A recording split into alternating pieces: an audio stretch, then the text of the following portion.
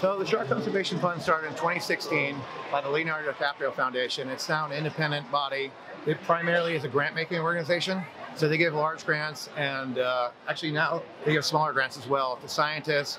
Um, so they're they're sort of not really a boots on the ground organization. They give money to other conservation groups that do work internationally. They're kind of a big picture macro organization that does anything from sustainability fishing practices to changing the laws in various countries. Uh, they have a locally here in the Caribbean and Cuba, they have a sawfish uh, conservation program. They work angel sharks in the Mediterranean. They have about, I believe, 55 different projects all over the world.